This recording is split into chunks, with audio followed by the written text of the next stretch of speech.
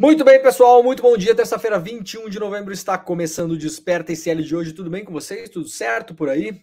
Muito bem, muito obrigado a quem já está chegando no nosso chat. Eu vejo que já tem muitas pessoas comentando por aí. Muito bom dia, muito obrigado, muito boa noite também, muito boa tarde, boa noite para quem nos acompanha fora do Brasil. Este programa tem uma audiência de pessoas que moram fora do Brasil, bastante, inclusive, né?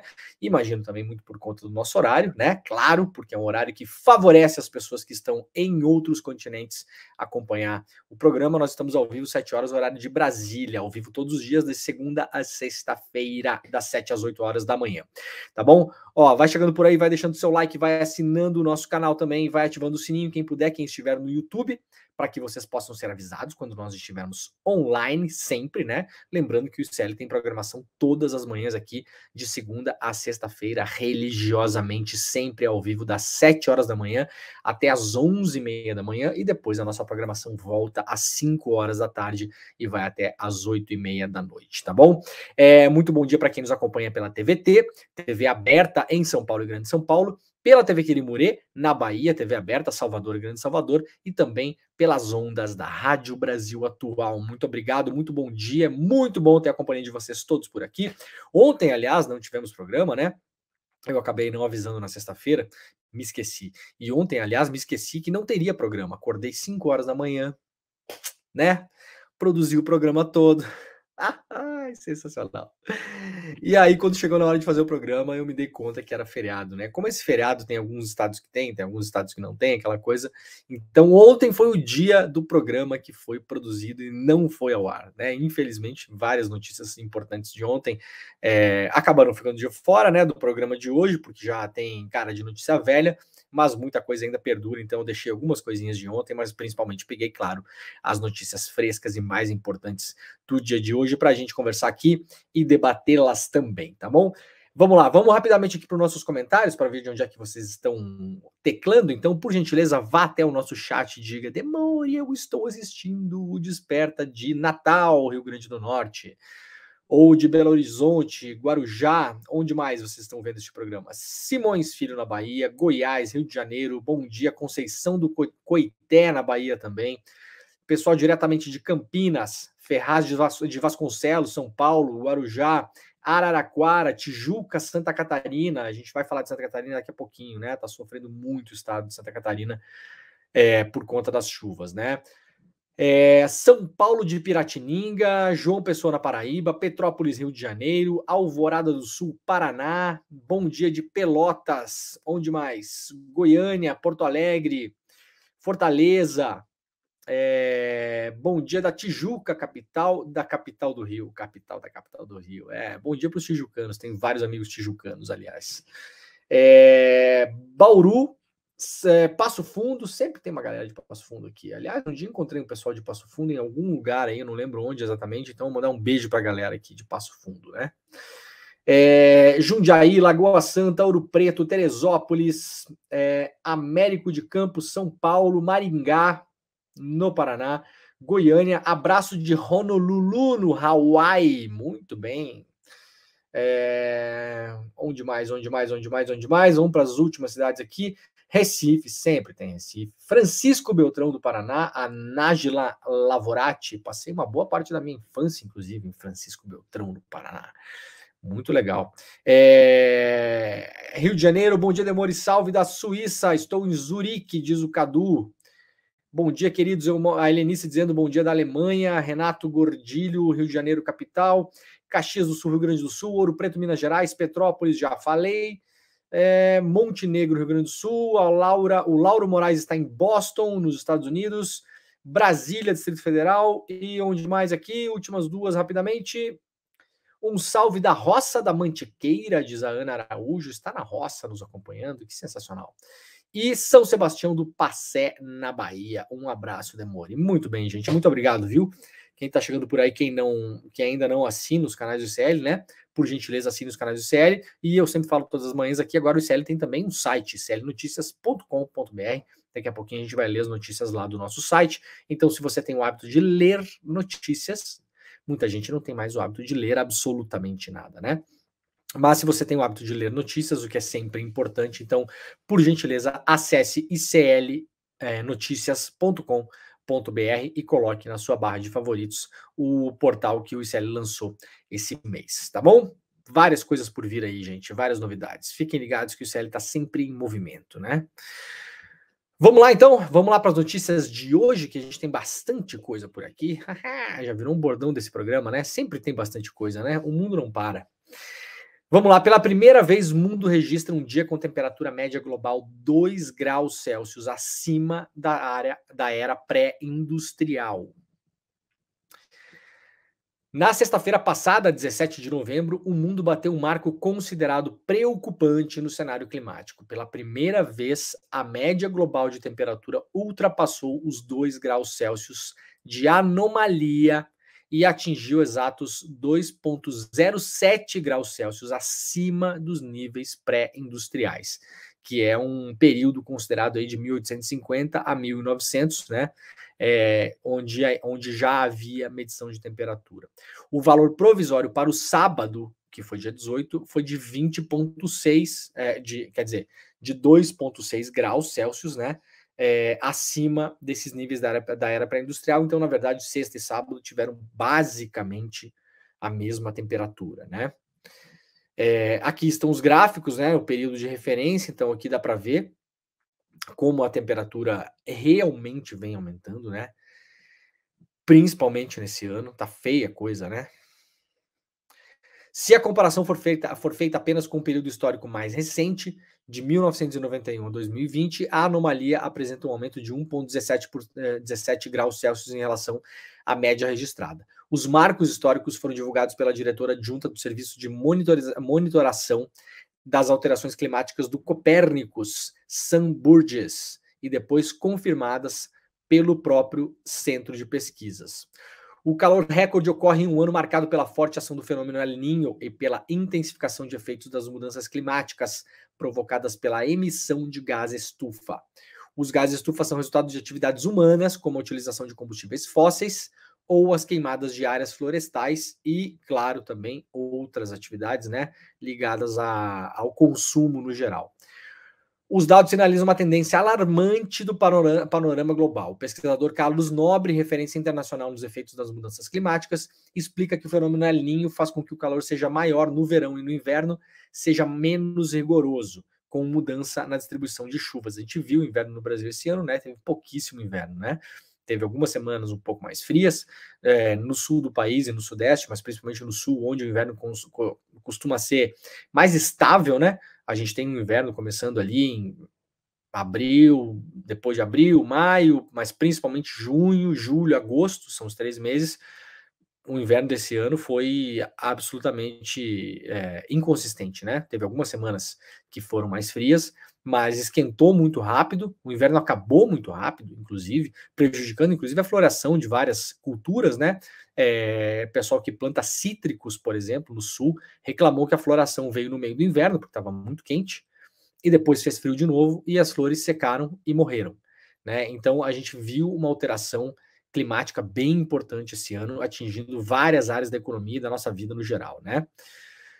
Para entender esse recorde, a gente olha para as emissões de carbono. Em 2022 tivemos um recorde de emissões, as estimativas mostram que 2023 vai bater esse recorde novamente.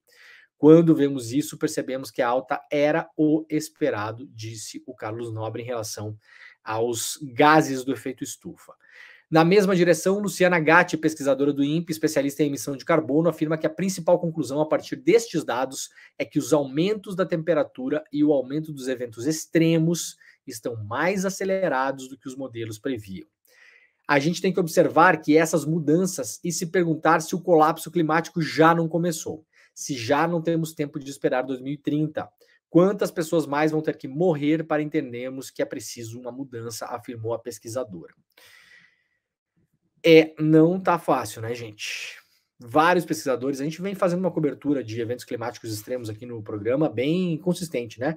Eu até acho que é um dos programas que mais faz, assim, tirando os programas especializados da imprensa em geral, eu vejo poucas pessoas dando atenção para isso, né? A cobertura de meio ambiente ela entra sempre no rodapé, né? Primeiras coisas ali da política, do dia a dia, o rame-rame, o blá blá blá, fumaça e tal, não sei o quê, a polêmica do dia, e aí cobertura climática lá no fundo. Quem acompanha o programa aqui sabe que a gente faz o contrário disso, né? Sempre que tem notícia em relação à emergência climática, eu coloco elas no começo do programa, porque eu acho que elas são de fato muito importantes, e elas são de fato muito importantes, né?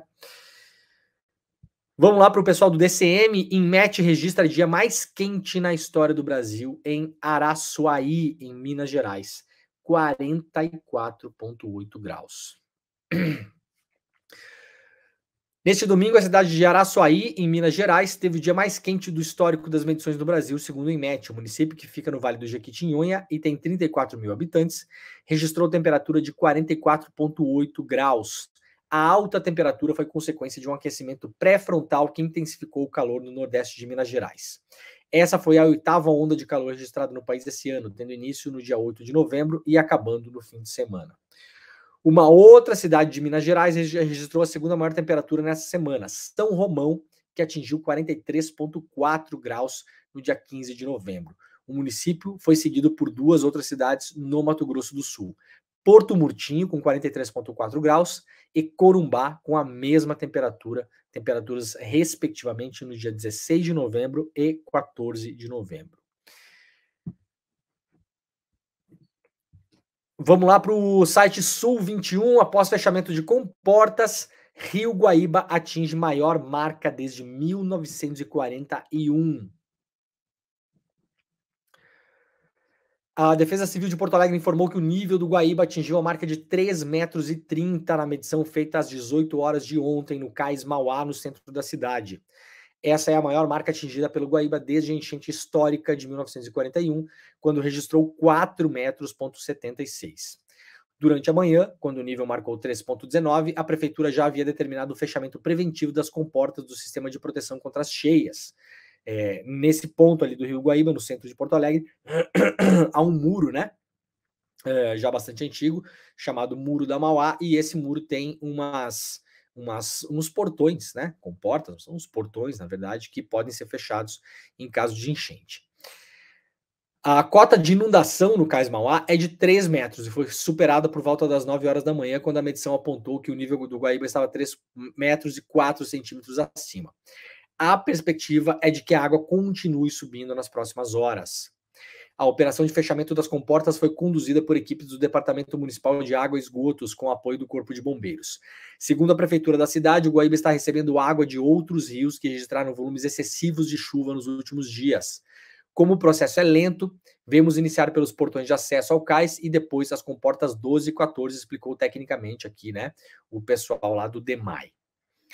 É, no entanto, a situação é mais grave nas ilhas que estão ali em frente à capital, né? Uma vez que a medição desta manhã na Ilha da Pintada apontou a marca de 2,5 metros. e meio. A cota de inundação do local é de 2,2. As ilhas estão, num, estão são mais baixas né, do que o centro da cidade e elas alagam com muita, muita, muita frequência. Um problema que nunca foi resolvido, até porque boa parte da população que mora nas ilhas é de população pobre, carente. Então, obviamente, a prefeitura, as, prefe... as prefeituras historicamente nunca mostraram interesse em resolver isso. Diante da previsão do aumento do nível do Guaíba, a prefeitura já havia iniciado no domingo a montagem do abrigo temporário na Escola Estadual Alvarenga Peixoto, na Ilha Grande dos Marinheiros, para o acolhimento dos moradores. Hoje pela manhã, há notícias de que 600 moradores já foram evacuados das ilhas, porque o nível do Guaíba segue subindo aí pelas próximas horas, né? Aqui o Sul 21 traz algumas fotos para a gente ter uma ideia, né? Então, isso aqui são isso aqui é o centro da cidade de Porto Alegre, né? Aqui a gente está vendo um telhado. Aqui não, o rio não deveria estar onde está, né? Tem um telhado aqui, tem uma construção embaixo, né? Aqui, para vocês terem uma ideia, né? Centro de Porto Alegre também, onde a água já invadiu aqui é o cais, tá? É uma parte do cais Mauá. Então aqui normalmente não tem água, tá, gente? Isso aqui é um lugar onde entram carros aqui, pessoas, né? As pessoas vêm aqui frequentar essa área aqui então vejam, essa parte aqui e é isso aqui onde eu estou mostrando com o mouse aqui, ó, é, o rio fica lá embaixo, né? Então ele subiu, já tomou conta aqui do cais e o que está protegendo a cidade ainda, por enquanto, é o muro da Mauá que está localizado aqui, ó. Aqui tem um muro e as comportas foram fechadas. No entanto, a gente já vê alguma água em cima da pista ali na Avenida Mauá, no centro de Porto Alegre. Aqui mais uma imagem que dá para ter uma noção de como o rio já subiu a níveis perigosos, né? É, agora é ficar de olho, torcer para que a chuva pare, é, principalmente a chuva na, nos rios que abastecem o Guaíba, né? O Rio Jacuí, por exemplo, né? E vários outros que, que abastecem o Guaíba, porque daqui essa água ela corre em direção à lagoa e depois corre em direção ao mar. Então ela acaba recebendo água de fato de vários rios importantes e caudalosos do estado do Rio Grande do Sul. E aqui mais fotos. Então, se vocês quiserem dar uma olhada né, nas imagens que foram produzidas lá pela, pelo pessoal do Sul 21, é, então dei uma chegada no site deles lá, sul21.com.br.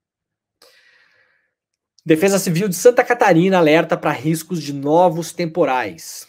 A população de Santa Catarina deve estar alerta nos próximos dias. Com 71 cidades em situação de emergência, é, o estado deve voltar a enfrentar temporais. Em um boletim divulgado ontem, a Defesa Civil Estadual alerta que, após um dia de tempo firme, hoje o clima deve voltar a ficar instável, ou seja, possivelmente novas chuvas em Santa Catarina. É, então, assim, quem mora nas regiões atingidas, se, né, se puder, porque às vezes as pessoas não têm para onde ir, mas se você acha que há algum tipo de ameaça na sua casa, por favor, deixe a sua casa. É, é isso, não tem o que fazer. Enquanto a gente não resolver esse problema no Brasil, né? É um problema de emergência climática, sim, mas o Brasil, muito antes disso, também tem pessoas vivendo historicamente, há muito tempo, há décadas, há séculos, em áreas de risco né? E é o caso de várias cidades do sul do Brasil, inclusive.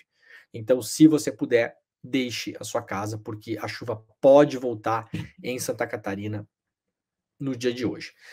É, a Defesa Civil considera alto o risco de ocorrerem inundações nas bacias hidro hidrográficas das, das regiões Grande Oeste, Vale do Itajaí e Planalto Sul. Regiões onde o órgão considera muito alto o perigo, o perigo de alagamento. E aqui, para finalizar, o IMET alerta para chuvas intensas também no Amazonas nesta terça-feira, após o, o, retorno das nuvens de fumaça em pontos de Manaus durante o final de semana. Nuvens de fumaça essa provocadas pelas queimadas. O Instituto Nacional de Meteorologia lançou um alerta de perigo para a possibilidade de chuvas intensas na capital e nas regiões do Amazonas. O alerta emitido na segunda-feira vale até terça-feira, portanto, hoje também atinge regiões dos estados do Acre, Mato Grosso, Pará, Rondônia e Roraima. Segundo o IMET, o alerta vale para as regiões do Vale do Acre, leste rondoniense, centro-amazonense, sudoeste amazonense, norte mato-grossense, sul amazonense, norte amazonense, Madeira Guaporé, sul de Roraima, Vale do Juruá e sudoeste paraense. Então, se você está nessas áreas também, muita atenção, principalmente se você está próximo ou próxima de rios, tá bom? Chuvas importantes também sendo alertadas pelo IMET lá em, no Amazonas. Vamos lá então aqui, notícia da revista Fórum. Aliás, um abraço para o pessoal da revista Fórum. É, PGR pede prisão em cassação do mandato de Gustavo Gayer por racismo e injúria. Eu avisei que esse cara não ia terminar o mandato. Avisei. Avisei. Fiz até uma piada com ele na rede social.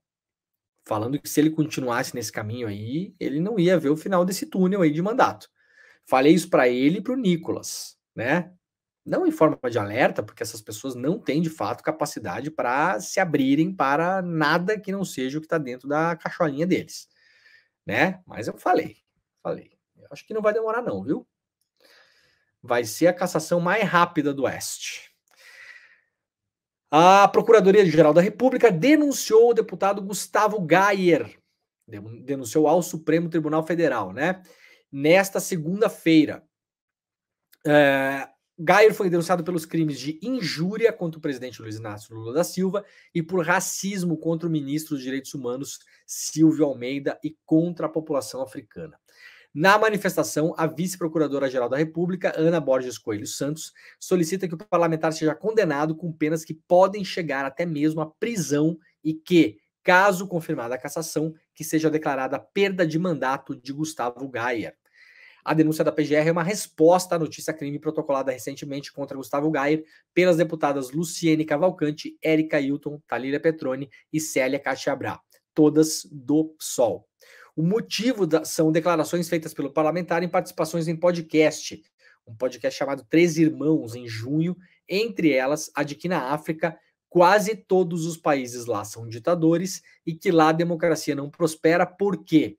Para você ter democracia, você tem que ter um mínimo de capacidade cognitiva para entender entre o bom e o ruim, entre o certo e o errado. Nós não estamos em 1930. Nós estamos em 2023 e o cara vai ao ar num podcast. Porque assim, entendo que essa gente pense isso. Entendo mesmo. Entendo, né? A gente não pode proibir ninguém de pensar, claro. Aliás, nós não podemos proibir ninguém de falar mesmo. Veja só, né? As pessoas que dizem que não há liberdade de expressão no Brasil. É claro que há. O Gustavo Gayer falou exatamente aquilo que ele quis falar no podcast. Alguém apareceu lá no podcast para tirar o podcast do ar? Alguém cortou ele? Alguém cortou o microfone deles? Tinha alguém lá do Estado, como tinha durante a ditadura militar aqui no Brasil, para dizer isso aqui pode, isso aqui não pode, esse entrevistado sim, esse entrevistado não, essa palavra não pode usar, esse título não, pá, pá, pá. Né? A galera mais nova não vai saber, mas assim, é só estudar um pouquinho de história também, né, gente? Durante a ditadura militar no Brasil, tinha agentes da censura que ficavam, que tinham mesa e cadeira dentro da redação dos jornais, dentro. A edição dos jornais passava por eles.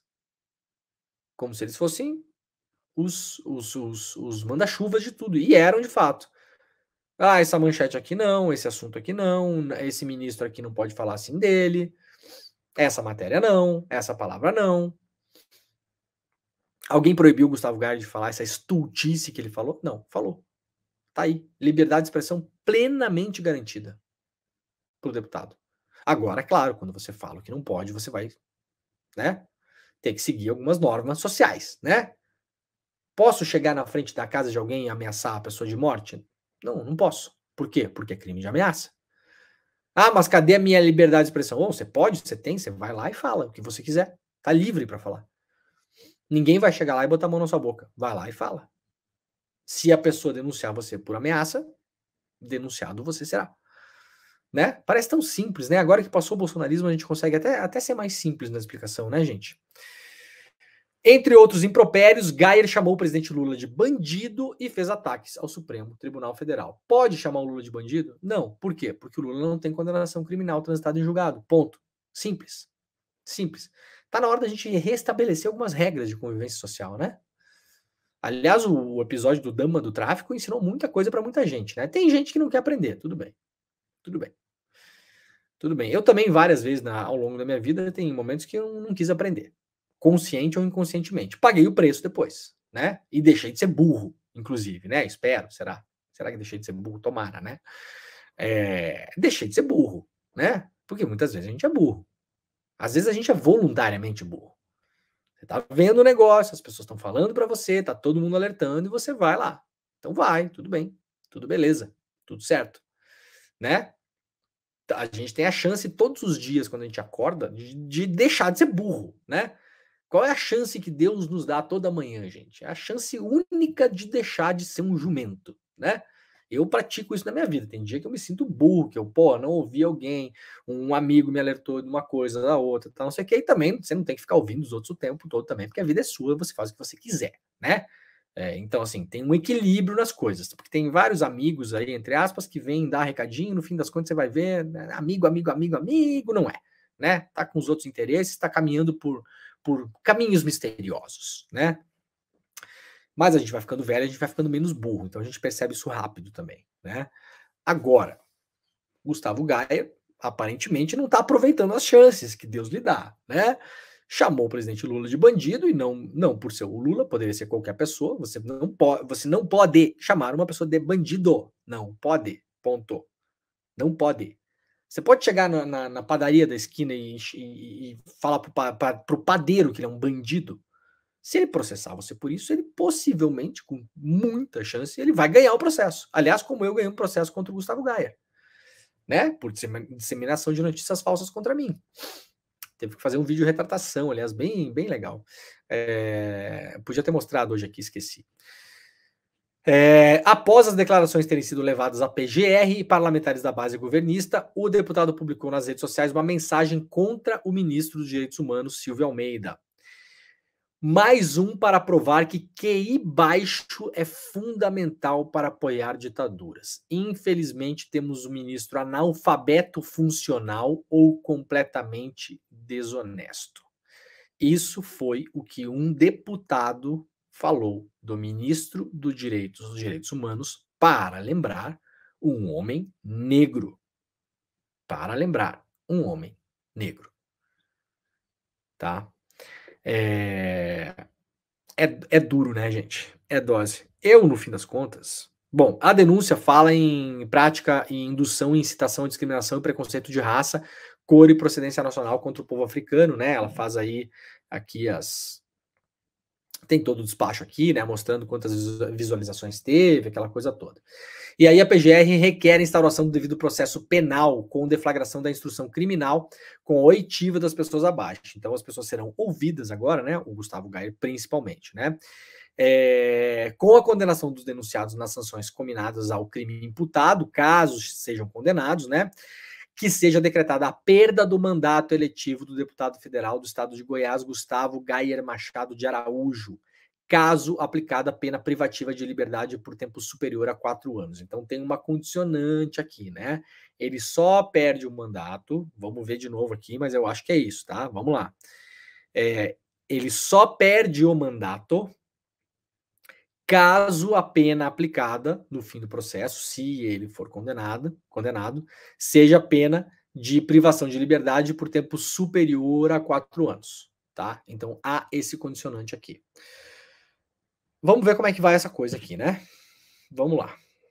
Foi avisado, Todo mundo acorda todos os dias, abre o olhinho e tem a chance de deixar de ser burro, né, Gustavo Gayer? Como eu faço. Não estou falando do senhor. Imagina, jamais, jamais, né? Estou falando que eu aproveito as chances, né, que a vida me dá para acordar todas as manhãs e ser um pouquinho menos burro do que ontem, do que fui ontem, né? Eu, se fosse o senhor, aproveitaria as suas também, né, para tentar chegar até o final do mandato, se possível. Não que eu deseje, né?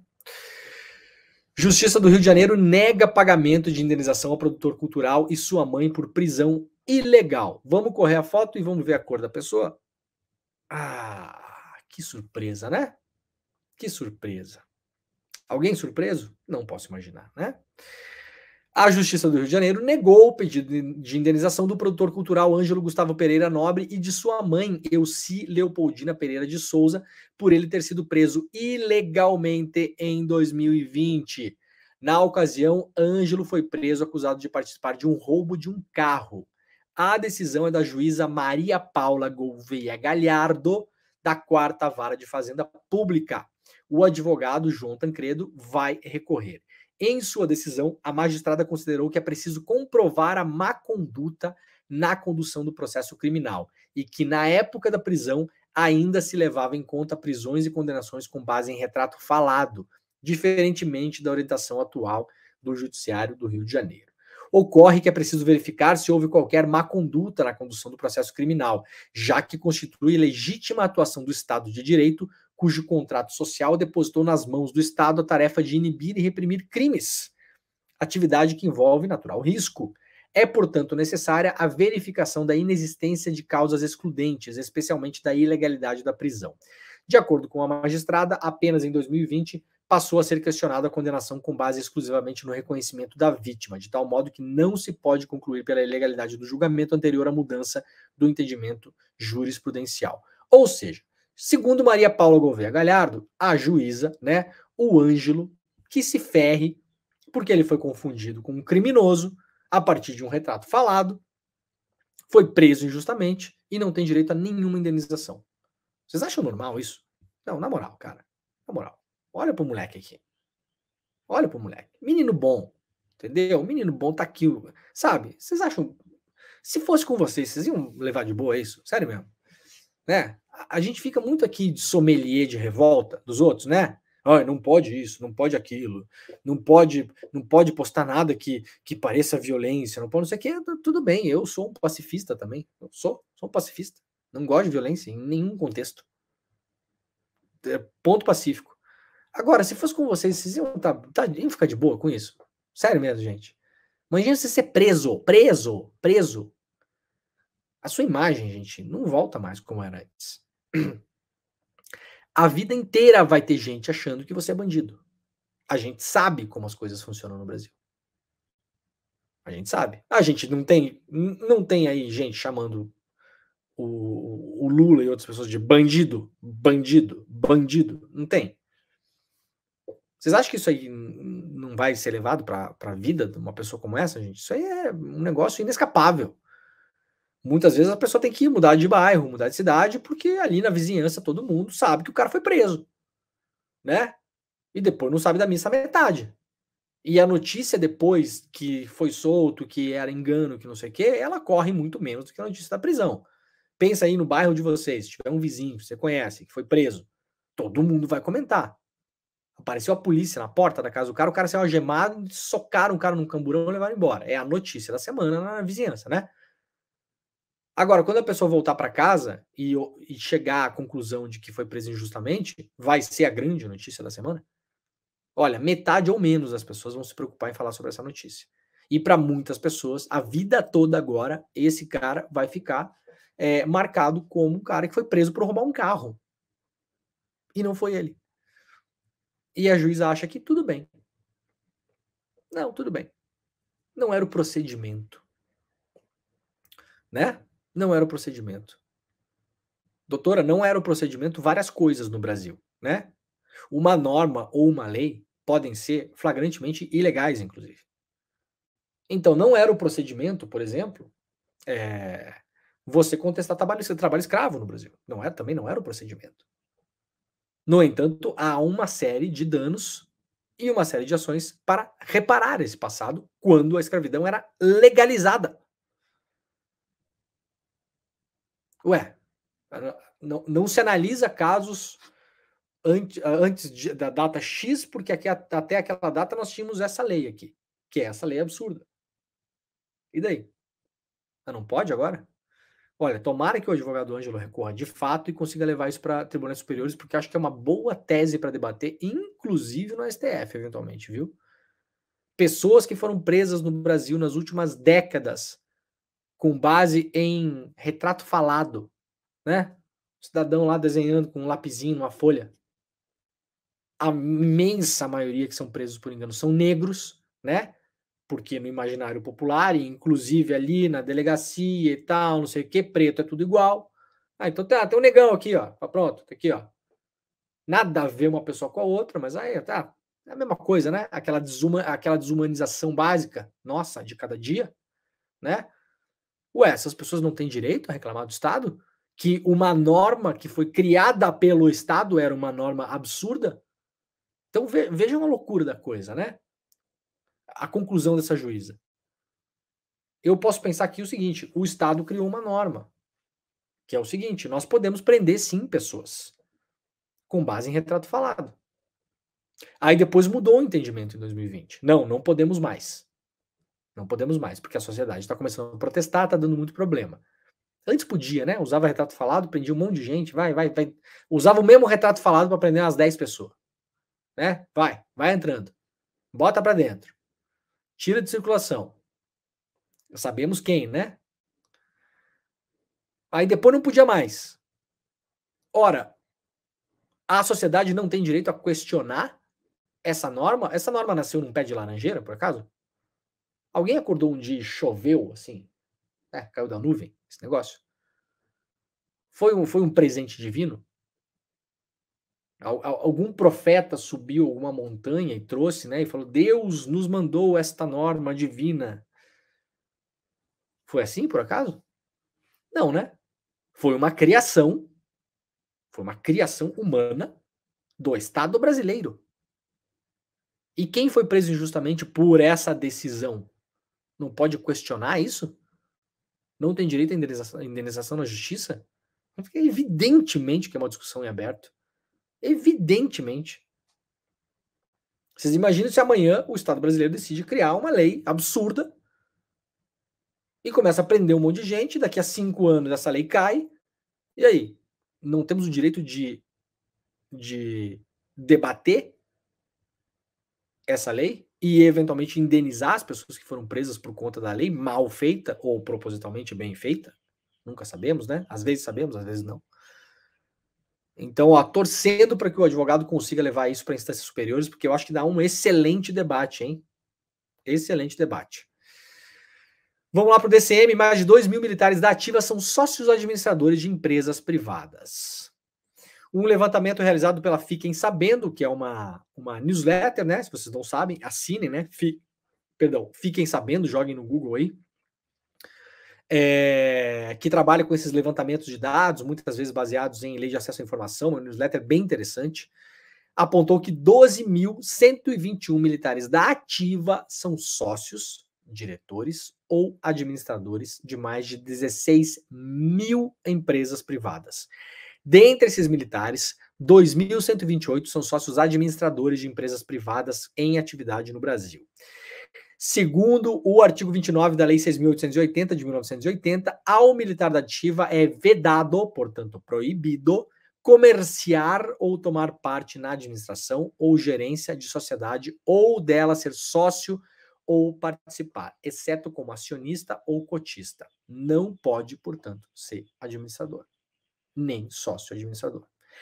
Em entrevista Fiquem Sabendo, o jurista Carlos Ari Sundfeld, professor da FGV Direito de São Paulo e presidente da Sociedade Brasileira de Direito Público, explicou que o artigo 29 do Estatuto dos Militares admite que o militar da ativa participe como acionista da sociedade anônima ou como cotista, mas ele está proibido de participar da administração ou da gerência da sociedade. Portanto, o militar não pode ser sócio administrador, apenas sócio.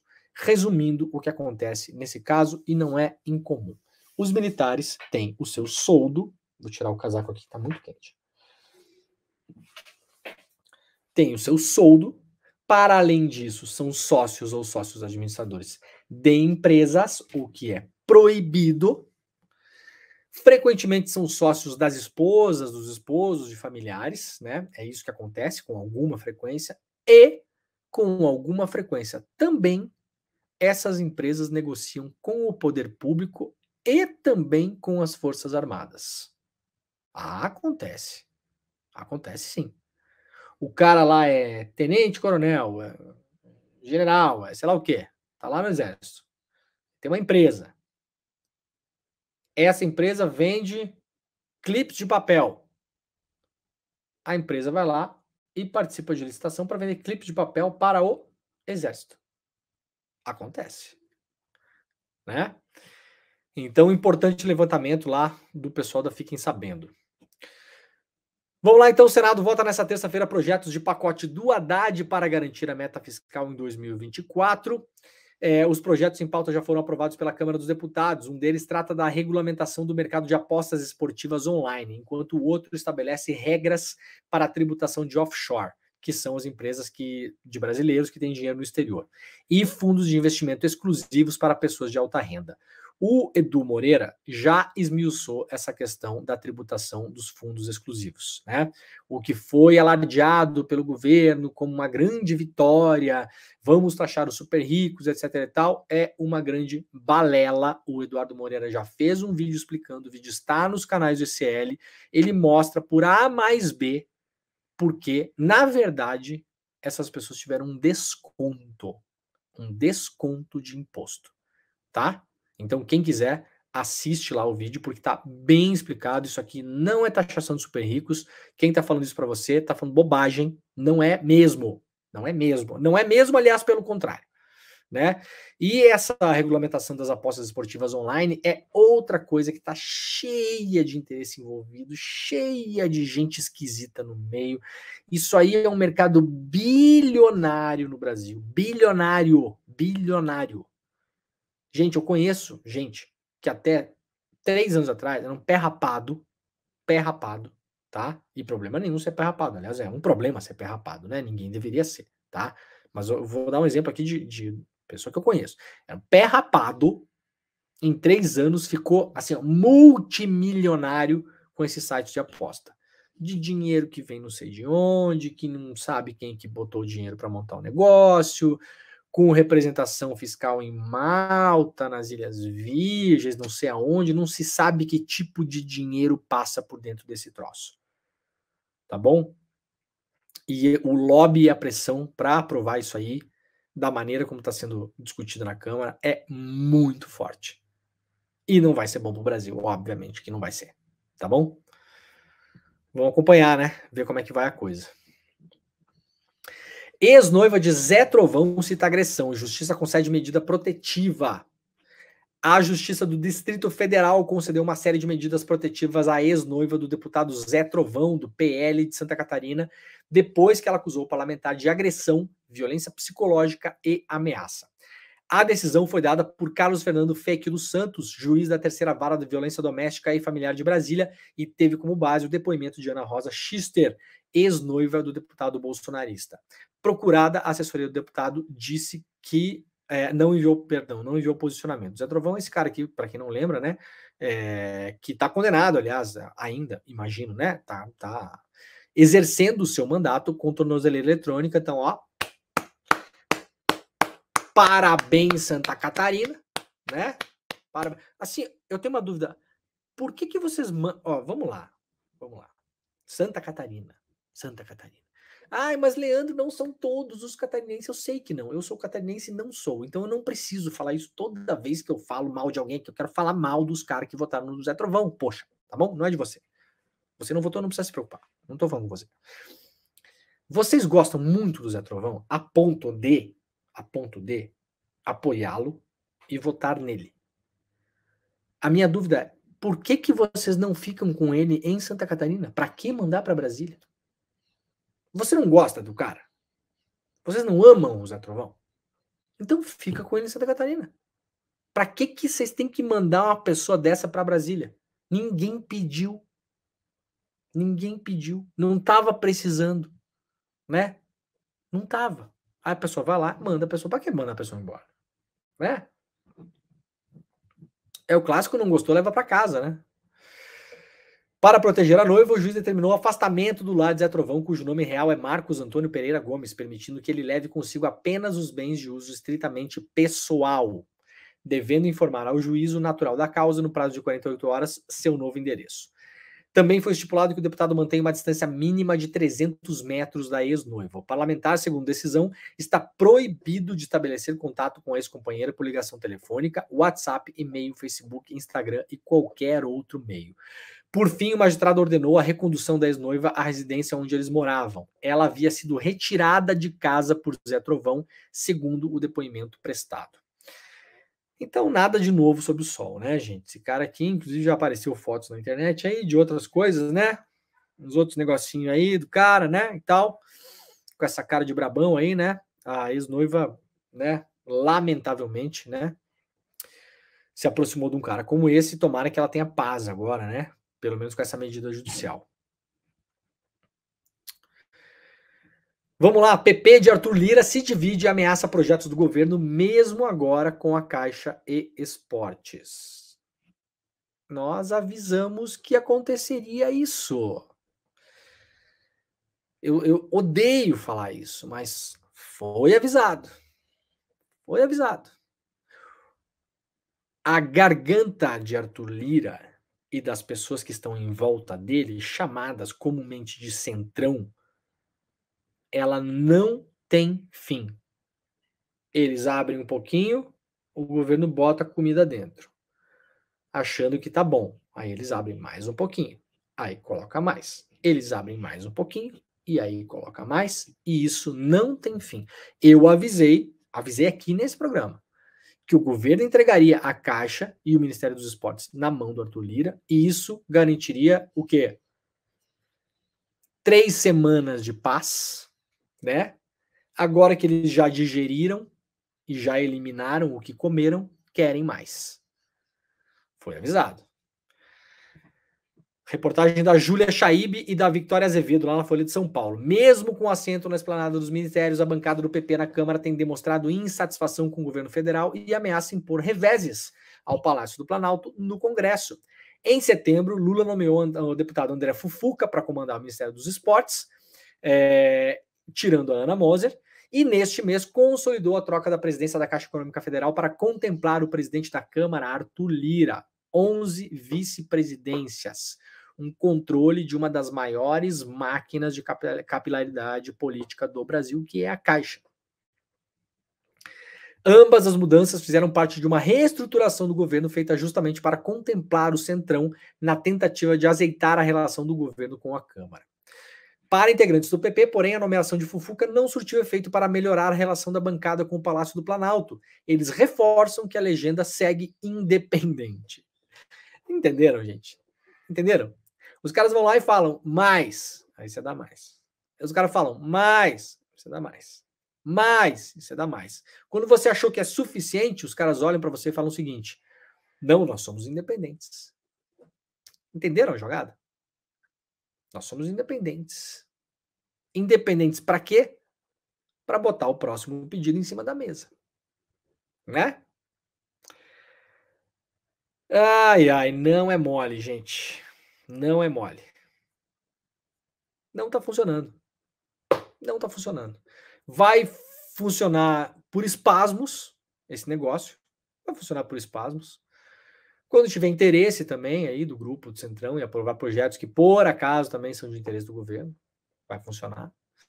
E quando a coisa for cara, quando ela custa caro, essa gente vai cobrar. Vai cobrar. O que poderia ser feito? Eu não sei o que poderia ser feito, né? O que eu sei é o que foi feito, por exemplo, no governo Bolsonaro. O que foi feito no governo Bolsonaro? O Bolsonaro foi eleito com um projeto de governo, né?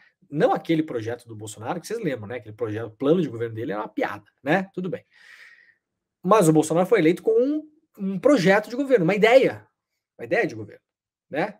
Extremista, de direita, né? Ultranacionalista, com vários tons e pincelada, pinceladas de fascismo que a gente foi descobrir depois que não era só na retórica. Teve vários episódios ligando bolsonaristas a nazistas durante o governo Bolsonaro, episódios evidentes evidentes de ligação com nazistas ou com o nazismo no geral. O que, que o Bolsonaro fez quando o Bolsonaro assumiu a presidência da República? Ele pegou as pessoas mais radicais conforme a sua ideologia e colocou no governo. Nós tivemos o Vélez de ministro, gente. O Weintraub. O Olavo de Carvalho chegou a ser sondado, segundo notícias na época, não quis. Não quis, mas se quisesse, seria. O Brasil poderia ter tido Olavo de Carvalho como ministro da Educação.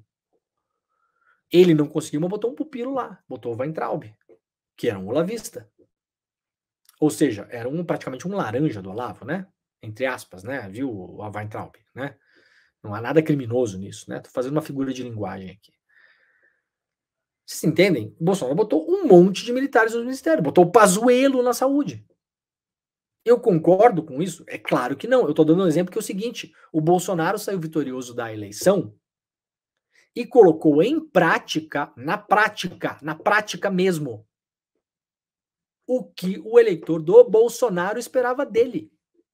Na minha opinião, ruim para o Brasil. Mas isso é a minha opinião. Estou falando do que aconteceu. Em fevereiro, no meio do carnaval, no segundo mês do governo Bolsonaro, o Bolsonaro baixou quatro decretos de armas para liberar a compra de arma pela população. Então, assim, enquanto a gente fica muito nesse negócio, não, negociar com o Congresso, né, tem que ver né, o, STF, ver as forças, e o Lira, e o PP, e a Caixa Econômica, e os esportes, e vamos lá, e, e blá, blá, blá. O Bolsonaro assumiu e sentou pau. Então, assim, o que, que eu quero dizer com isso? Que dá para fazer. Não dá para fazer? O Bolsonaro não fez? Então dá para fazer, não dá? Ou estou errado? Não dá para você assumir o, o, governo e colocar um monte de, de, de ministro que, na visão humanista, sejam, entre aspas, extremistas, né? Que levem ao extremo as ideias humanistas, o combate à fome, o problema penitenciário do Brasil, série de coisas, a emergência climática, temos alguns, temos a Marina Silva. Graças a Deus, que nesse ponto é um oásis, né? Temos Silvio Almeida, o Flávio Dino, mas assim, essas, Juscelino Filho tá fazendo o que ainda no governo? Aliás, onde, por onde anda Juscelino Filho? Eu torço assim, sempre que eu lembro do Juscelino Filho, eu torço para que ele seja inoperante, né? Porque pelo menos ele não tá fazendo mal para ninguém, né? Mas assim, Cadê o ministro da comunicação do Brasil? Onde é que foi parar? Não, não se tem notícia. Né? Então, assim, dá para fazer diferente. Dá. Ah, é difícil, não pode. Bom, gente, difícil é um monte de coisa, tá? Difícil é um monte de coisa. Difícil é, é, é viver em Gaza, né? Isso é difícil. Difícil é fazer que nem o Hassan Rabi, que é tentar, que é o, o palestino brasileiro que, que deu entrevista para Luísa Vilela, que é tentar conseguir sair de Gaza. Isso é o difícil. Né? Tem várias outras coisas que são menos difíceis do que essa. Né? Então, assim, tem alternativa? Tem alternativa? Tem. Ah, não dá, é complicado, é difícil, vai comprar briga, é, vão travar as pautas, não sei o quê. Bom, se, se isso acontecer, há alternativas para isso também. Também. Você conseguir juntar os milhões de brasileiros que votaram nesse projeto para pressionar a chantagem, eventual chantagem da Câmara que não quer votar um negócio porque o governo não deu a Caixa Econômica. Você expor isso, se comunicar com as pessoas, deixar isso claro. Falar aqui, ó, Tá vendo o negócio aqui de perdoar a dívida da, da, do Minha Casa Minha Vida? É, pois é, não tá saindo por quê? Porque o Lira não pauta. Por que, que o Lira não pauta? Ah, porque ele quer a Caixa Econômica para fazer política e o governo não quer dar, porque acha que não tem nada a ver.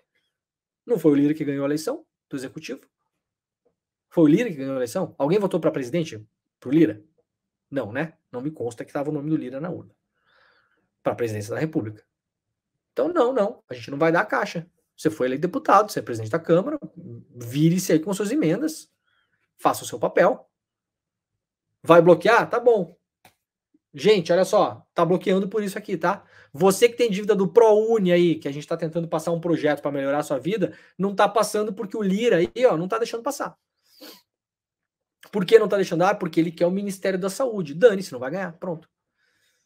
Não foi eleito para isso. O Ministério da Saúde é um, é um órgão do executivo. Quem nomeia o ministro é o presidente da República. E o Brasil votou no Lula para o presidente da República, não no Lira. Né? As palavrinhas são mais ou menos parecidas, mas não trata-se da mesma pessoa. Aliás, nem de perto, inclusive. Então, assim, gente. Ah, dá para fazer isso? Dá, dá. Tá bom, dá. Se o Bolsonaro fez, dá para fazer. Se o Bolsonaro fez, dá para fazer. Agora, há uma opção em não fazer porque não se quer comprar a briga, o desgaste, o isso, aquilo, blá, blá, blá, tudo bem. Então vamos deixar claro aqui que tem opção. Tem opção. Ela dá mais trabalho. Dá mais trabalho. Ela é mais arriscada. Ah, mas se a gente fizer isso, pode ter o impeachment. Gente, pode ter o impeachment amanhã. Tá bom? Essa chantagem que está aqui na reportagem do Centrão não vai parar até que o último anel seja arrancado dos dedos do governo. E quando isso acontecer, num primeiro escorregão, se a economia for mal, se tiver uma nova, aspas, é, operação anticorrupção estilo Lava Jato, o governo vai ficar no alvo para cair. Alguém tem alguma dúvida disso? Vocês viram o que o jornal Estado de São Paulo fez nos últimos dias. Isso é um projeto. Projeto. A gente não está lidando com amadores. Eles estão organizados. Ontem eu publiquei um vídeo, aliás, não dá para publicar aqui por causa da direito autoral, mostrando que aquele candidato à presidência do Brasil, do Partido Novo, lembram? O Luiz Dávila, aquele cara que falou testreza no, no, no debate, que testreza, lembram desse cara? Ontem eu publiquei um vídeo na minha rede social, quem quiser vai lá ver, tá no Instagram, tá no Twitter. Ele, ele em um podcast dizendo literalmente o seguinte: que eles estão juntando um grupo de empresários bilionários para comprar o Estadão, comprar o jornal O Estado de São Paulo, e o sonho deles seria fazer um grande pool, um grande grupo de comunicação no Brasil, a estilo do grupo do Rupert Murdoch, que é um magnata da imprensa mundial, né? Seus jornais já foram acusados de espionagem ilegal, fraude. Então, o, o modelo do, do Dávila é excelente, inclusive, né? Isso aí, quem tá falando é ele, não sou eu. E ele gostaria de juntar Estadão, Revista Oeste, que é a Jovem Pan do Mundo Invertido, né? Jovem Pan e Brasil Paralelo. O, Gente, a gente não está lidando com amadores. O objetivo desse megazord, né? Megazord da, da, da loucura da extrema-direita seria combater este governo sórdido, que é como ele, Dávila, chamou o PT. Então, assim, de novo, tem gente muito poderosa, com muito dinheiro. Eu não sei se esse negócio vai sair ou não. O cara falou num podcast. E é um rumor que já anda aí vários tempos, porque o Estadão tá quebrado também, né? Então tá topando em qualquer parada. Nós vimos o que o Estadão fez na última semana. Vimos. O Estadão segue dobrando a aposta lá no site deles no negócio da dama do tráfico. Olha, daqui a seis meses a gente vai olhar o Estadão, vai ter na capa lá alguma matéria. Como diz um amigo meu, né? Regra número um do jornalismo. Se você precisa explicar muito a sua matéria, é que sua matéria é uma porcaria, tá? Isso é a regra número um. Coisa simples a gente entende na hora, né? Se precisa explicar muito é porque o negócio não presta, tá? Já fizeram 820 matérias para explicar a matéria. Então, assim, porque, né? Porque a consistência é a consistência de um pudim daquela matéria. Isso não vai parar aqui, não, gente. Tá? Então, assim, ai, não dá porque o Lira, porque. Ah, então tá bom. Então não dá porque o Lira, porque não sei quem. Então, mas pelo menos aqui tá registrado, terça-feira, 21 de novembro, tá, tá falado, tá dito aqui, né? Muito bem, ó, pessoal, o programa está chegando ao fim. Muito obrigado a quem nos acompanhou na TV de Murê, na TVT e na Rádio Brasil Atual. Nós voltaremos amanhã às 7 horas da manhã, ao vivo, horário de Brasília. Até mais. E para o pessoal que ficou até o finalzinho aqui, muito obrigado também pela companhia de todo mundo. É, está começando agora o ICL Notícias, primeira edição, com as principais notícias do Brasil e do mundo. Muito obrigado a quem nos acompanhou aqui. Galera de várias cidades do Brasil e do mundo, é sensacional, né? Ilhéus, Bahia, Blumenau, Passo Fundo, Campinas, Rio de Janeiro, Itapetininga, Volta Redonda, Osasco, Chicago, Penha, Santa Catarina, Boston de novo aqui, outra pessoa, Arapirina, é, Porto Alegre, Taubaté, Fortaleza, Colônia, na Alemanha, São Leopoldo, Rio Grande do Sul, Joaçaba, Fortaleza, Ibiúna, Niterói, Belém do Pará, Salvador e Divertilândia. Existe uma cidade chamada Divertilândia. Pedro Falcão mora em Divertilândia. Se o Pedro Falcão não está me trollando, né? Que aqui esse aqui é um outro Pedro Falcão, não é o nosso Pedro Falcão, né? Existe uma cidade chamada Divertilândia. Se não existe, temos que criar, inclusive, né? Atenção, governo federal, vamos criar uma cidade chamada Divertilândia, onde será uma cidade o quê? Muito divertida, claro.